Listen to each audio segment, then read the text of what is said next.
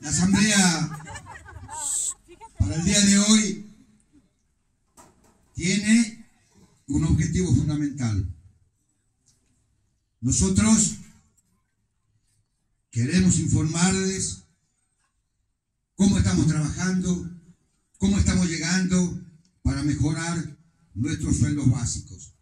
La verdad que nosotros tenemos claro qué es lo que hay que hacer, cómo tenemos que trabajar, pero ustedes de nuestra vida, son parte de nuestra institución. Por lo tanto, necesitan estar informados.